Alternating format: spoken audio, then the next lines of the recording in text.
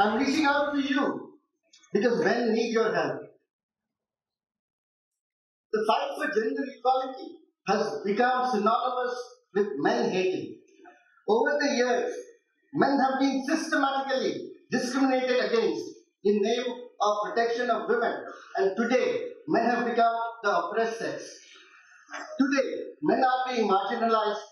The role of father is being less valued by society. Brilliant men are committing suicide, and young men are spending the prime of their life fighting frivolous cases. A core concern of, about men like me is the gross misuse of women-centric laws that have been introduced as a result of feminist activism, particularly those related to family. The prime among them being Section 498A. In 1961, the Government of India introduced the Dowry Prohibition Act as a law against dowry.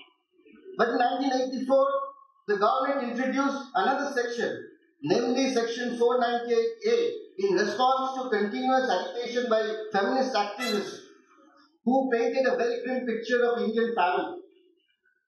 This section did not specifically speak of dowry, but it spoke about harassment of wife and criminal provisions for the same.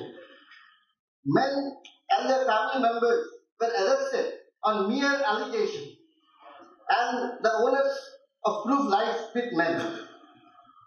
These kind of ambiguities in social legislations, along with discretion of police to act or not to act, gave them wide chances to indulge in corrupt practices.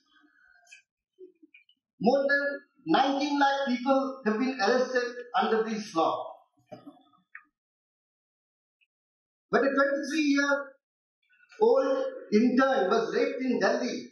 The entire nation rose up and demanded justice, and rightly so.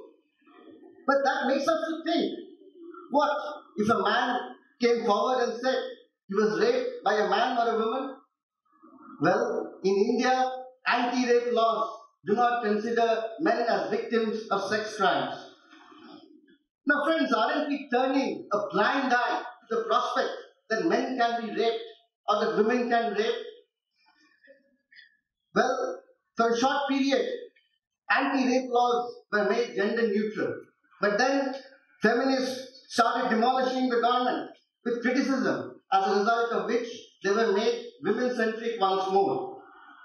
By not having gender neutral laws, the justice system is itself saying that men victims are not important. Friends, the fight for rape is gender blind. It does not belong to any one community gay, lesbian, men, women, young or old. The fight against rape is not a fight against men, it's a fight against the dark side of human nature. One thing that concerns us is the rising suicide among men. Suicide among men has been called a silent epidemic. Epidemic because of its large incidence and because of its substantial contribution to mortality of men. In India, twice the number of married men commit suicide as compared to married women. Friends, you may be amazed to know that we have a commission for animals in India, but no commission for men. Distressed and battered men have no place to go. There is no immediate relief for men who have been subjected to domestic violence. The present domestic violence law provides for protection of women from men with whom they live. It prohibits women from being charged under this law. So the only option left for men who have been subjected to domestic violence is to file a divorce case on grounds of cruelty, which may take a long time to hear. And even if he does so, he may be subjected to numerous cases by his wife, even though she continues to live in the same household. The common perception is that it is the women who is the victim and men who is the perpetrator. Because that is the perception which we have been subjected to. advertisements and campaign only fixate on this perception and some of them indulge in gender bashing to further aggravate it. But the truth is, the 2004 National Family Health Survey revealed that almost 60 lakh women have perpetuated domestic violence on men. And if violence and threats by relatives of these wives are taken into account, almost 3 crore men face domestic violence in India. Therefore, friends, I would appeal to lawmakers to make anti-rape law and domestic violence laws gender neutral with promise of justice to all, irrespective of the gender. Friends, you will be amazed to know that as per WCD report, more boys are sexually abused than girls. More boys drop out from school. More boys stay on street and more boys act as bonded laborers. Now, the government has a plethora of schemes for girls, but unfortunately, there is not a single scheme for boys. Every year, in name of gender budgeting, crores of rupees are earmarked in the union budget for girls and women. But unfortunately, not a single coin is spent on boys or men. Friends, trafficking in person is a serious crime and a grave violation of human rights. Trafficking manifests itself in form of sex trafficking, organ trafficking, and bonded labor. But then we have been subjected to this belief that it is a crime that is perpetrated only against girls and women. Worse, some have made this human problem into a gender problem. The feminist approach to sex trafficking is simple abusers and victims, men as abusers and women as victims. But luckily, more and more people are realizing that boys and men are also subjected to human trafficking. Broadly speaking, more boys and more men are subjected to trafficking because they have stronger bodies. But identification of victims and service provision remains a challenge because of bias in society. Friends, human trafficking is a crime perpetrated against the most vulnerable section of society. There are lots of ways to be vulnerable. Yes, women are vulnerable, but children, people displaced after a war or natural calamity, indebted and poor people are also vulnerable. The Universal Declaration of Human Rights says the family is the natural and fundamental unit of a society and therefore deserves the support of society and the state. Gender equality shouldn't be used as an excuse to dissolve family, which is a permanent union between a man and a woman and provides the best possible environment for bringing up future citizens of this country. Friends, in India, whenever a marriage breaks down, the wife files one or more maintenance cases. There are six sections under which maintenance cases can be filed. And it has become a norm for judges to award maintenance without considering income, assets, education, or ability of wife to earn. And also the duration of marriage. Friends, you know that dowry is banned in India for good reasons. But shouldn't alimony be banned as well? Every year, wives are claiming lakhs of rupees in front of judges and police. But no one calls this extortion or blackmailing. In fact, these kind of alimony laws have given rise to gold digger wives. For these gold digger wives, men are not equal partners in a loving relationship, but people who can be fleeced with as much money as they like. These gold digger wives have made marriage into a profitable enterprise. Men have been further victimized by alimony laws that have provisions to send them to jail in case they fail to pay maintenance. Judges have said, beg, borrow, or steal in order to pay maintenance. Today, Indian society is undergoing transformation and divorce has uh, shot up significantly. In Hyderabad alone, 20,000 cases are pending in front of the family court. Indian law prevents children of separate parents to be, from being in touch with both the parents.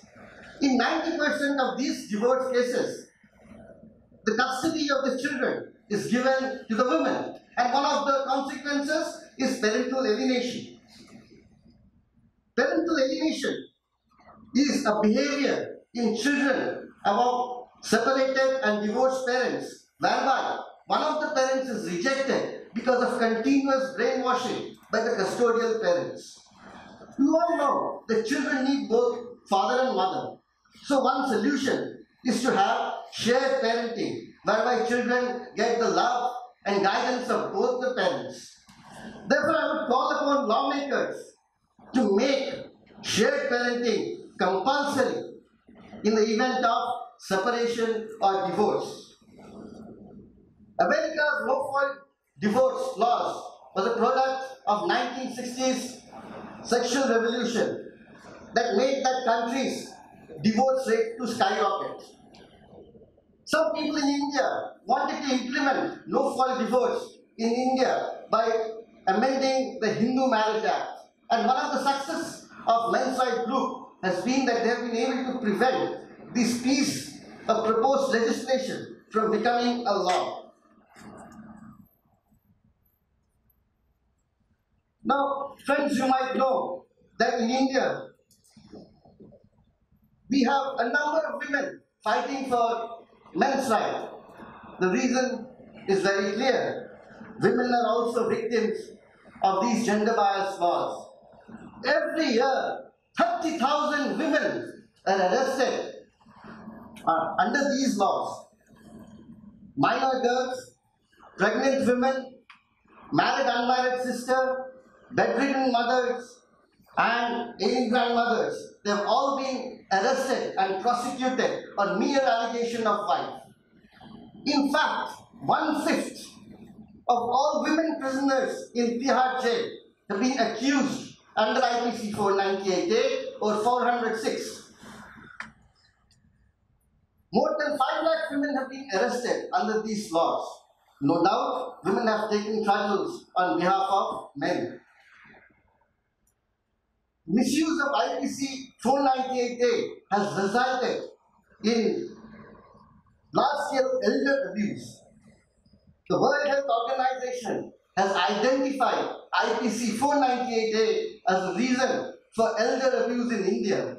Here you can see an elderly man protesting against IPC 498A at Jantar Mantar. Now, many people would like to justify this abuse and discrimination against men on the grounds that women have been discriminated in India. To them I would like to say that in India, we revere women as goddesses and part of Adya Shakti, or the primeval force. Therefore, friends, time has come when people like you should commit yourself to speak against abuse and discrimination faced by men. In India, we are seeing rise of men's right movement aided by the internet. The internet has made possible political action faster, quicker, and more universal through blogs, websites, and discussion groups. Men's rights activists have been able to reach to people across the country. Today there are 40 NGOs in India fighting for men's rights and every city, every important city has one men's rights group. Men's rights leaders are young professionals from some of the best institutes of this country. The, fight, the men's rights movement is a fight for equality. It's a fight for gender equality. It's a fight against corruption in police and the judiciary. And uh, it's a fight to safeguard Indian family from the onslaught of gender bias laws. Come join the movement. Thank you.